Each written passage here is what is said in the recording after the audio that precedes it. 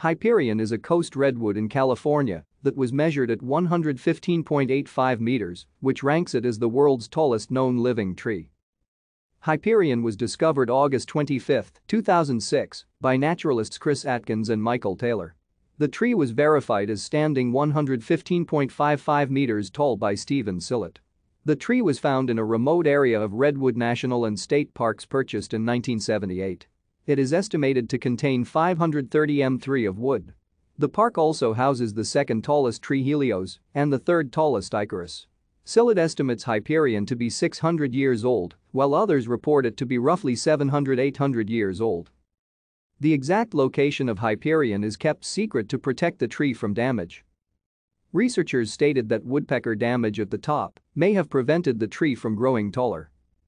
In February 2012, Hyperion was featured in the BBC Radio 4 documentary James and the Giant Redwoods by James Aldred.